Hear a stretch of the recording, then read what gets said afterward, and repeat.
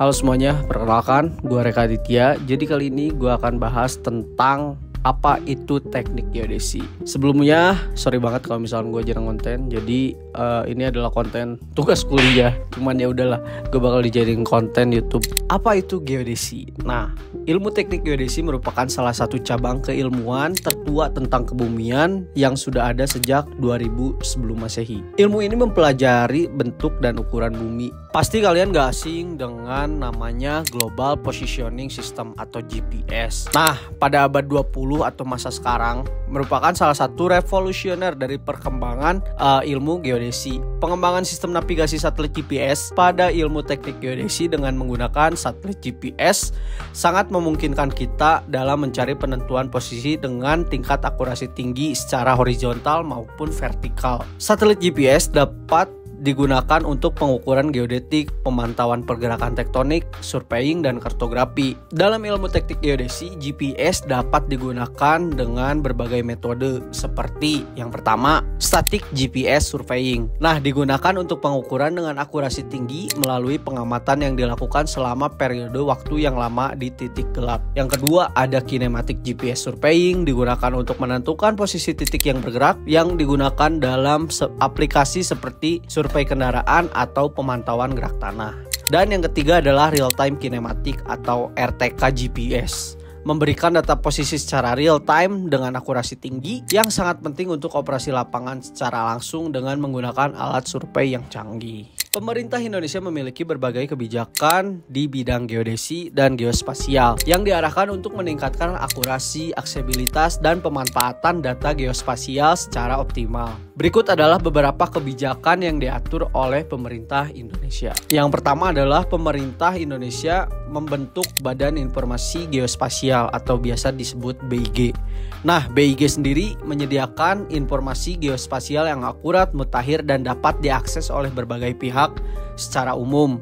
BIG bertanggung jawab dalam penyusunan peta dasar, peta tematik, dan informasi geospasial lainnya. Jadi buat teman-teman yang nanyain peta Indonesia diupdate-nya sama siapa dan itu adalah ketentuan atau pekerjaannya uh, Badan Informasi Geospasial atau BIG. Data geospasial mencakup lokasi geografis semua objek alam atau buatan manusia yang ada di bawah, pada, atau di atas permukaan bumi Indonesia. Seluruh data ini diolah menjadi informasi geospasial. Berdasarkan Undang-Undang Nomor 4 Tahun 2011 tentang Informasi Geospasial, definisi dari informasi geospasial adalah data geospasial yang sudah diolah sehingga dapat digunakan sebagai alat bantu dalam perumusan kebijakan, pengambilan keputusan dan atau pelaksanaan kegiatan yang berhubungan dengan ruang kebumian.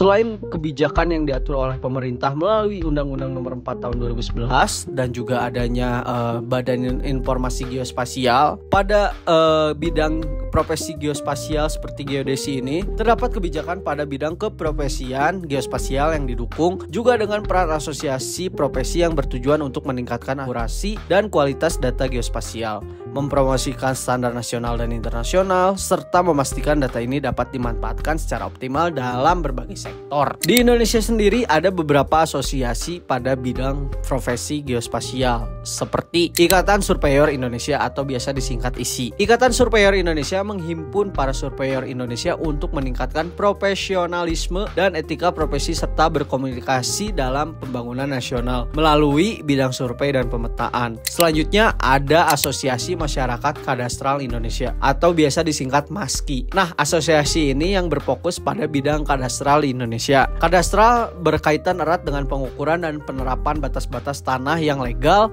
serta penyusunan peta yang mendukung registrasi dan sertifikasi tanah. Survei kadastral ini biasanya dilakukan oleh instansi Badan Pertanahan Nasional atau biasa disebut BPN. Selanjutnya ada masyarakat penginderaan jauh Indonesia atau disingkat MAPIN. Khusus dalam penggunaan teknologi penginderaan jauh yang sangat erat kaitannya dengan geospasial untuk pemantauan dan analisis sumber daya daya alam serta lingkungan. Selanjutnya ada teknologi yang berkembang pada ilmu teknik geodesi. Seperti yang tadi di awal gue bahas yaitu adalah GPS merupakan salah satu uh, penemuan teknologi tercanggih pada abad 20. Nah, sekarang selain GPS banyak sekali teknologi-teknologi untuk mencari mengolah data geospasial yang lebih canggih. Yang pertama ada Global Navigation Satellite System atau biasa disingkat GNSS. Teknologi Global Navigation Satellite System dapat melakukan penentuan lokasi dengan akurasi tinggi, memungkinkan kita untuk menghitung jarak antara dua titik pada permukaan bumi secara akurat. Data GNSS juga dapat digunakan bersamaan dengan sistem informasi grafis atau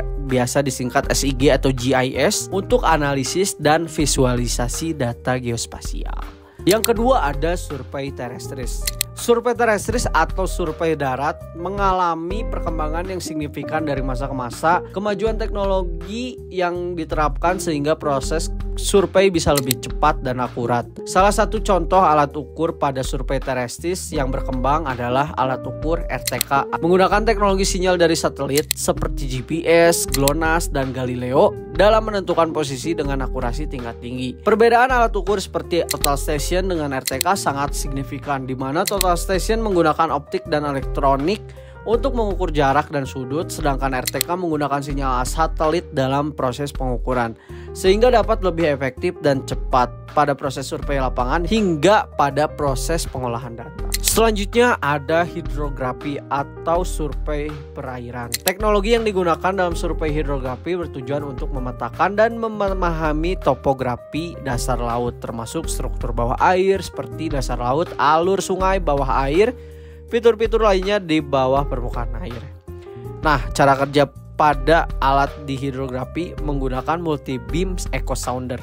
Menggunakan prinsip sonar untuk memancarkan serangkaian sinyal suara ke dasar laut dan merekam pantulan kembali ke objek di dasar laut. Dengan menggunakan array penerima yang besar, alat ini dapat mendeteksi sudut pantulan yang datang dari berbagai arah sehingga menciptakan gambaran tiga dimensi tentang bentuk dasar laut. Hidrografi merupakan salah satu kegiatan survei yang cukup menarik buat gue sendiri karena kebetulan sekali gue sering mancing ya mancing. Jadi uh, sangat cocok uh, buat gue yang suka mancing Ilmu geodesi memiliki banyak manfaat bagi kehidupan manusia karena kemampuannya untuk mengukur, memetakan, dan memonitor bumi dengan akurasi yang tinggi. Berikut adalah beberapa manfaat dari ilmu geodesi. Yang pertama adalah pemetaan dan pengelolaan sumber daya alam. Pemetaan tanah membantu dalam pemetaan batas tanah dan properti yang penting untuk administrasi tanah, uh, perencanaan kota dan pembangunan infrastruktur. Pengelolaan hutan memungkinkan uh, pemantauan hutan, deteksi deforestasi, dan manajemen sumber daya hutan secara efektif. Dan masih banyak lagi tentang manfaat-manfaat yang berkaitan dengan ilmu geodesi seperti pengamatan dan perlindungan lingkungan, mitigasi bencana dan manajemen risiko, pertanian, pemetaan dan pengolahan sumber daya, daya energi, pengembangan pariwisata bisa dilakukan dengan teknik geodesi karena kita berkaitan dengan survei dan pemetaan. Jika kalian tertarik dengan ilmu teknik geodesi, kalian bisa searching-searching. Kalau kalian calon maba, mungkin kalian bisa uh, jadiin salah satu prodi teknik geodesi menjadi salah satu minat kalian. Ditunggu di teknik geodesi. Gue Reka Aditya bye bye